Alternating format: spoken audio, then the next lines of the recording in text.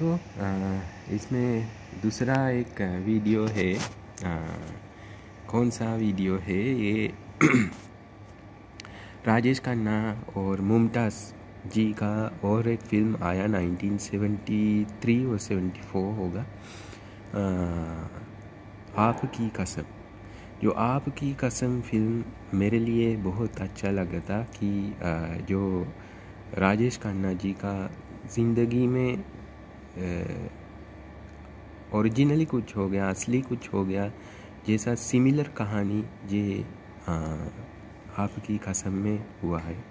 लेकिन मैं बताता हूँ, मैं बोलता हूँ, ये इसमें हंड्रेड परसेंट उसका ज़िंदगी में नहीं हुआ, जो कहानी में देख लिया, इसका हंड्रेड परसेंट ज़िंदगी में नहीं हुआ, लेकिन कुछ सिमिलरिटीज़ था उसका ज़िंदगी में।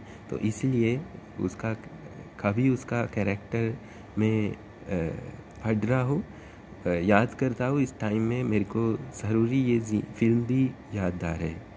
आपकी कसम। तो आपकी कसम फ़िल्म में एक, ये गाना, कुछ एक हनीमून का गाना है। जो गाना इन बॉलीवुड सिनेमा गाने का इतिहास में हनीमून टॉपिक के लिए बहुत सबसे अच्छा गाना था। इसमें बहुत टैलेंटेड है कि आनंद बख्शी का लाइरिक्स और आर टी बर्मन का म्यूज़िक किशोर कुमार का आवाज़, लता मंगेशकर जी के साथ, किस लिए? राजेश खन्ना और मुमताज़ के लिए।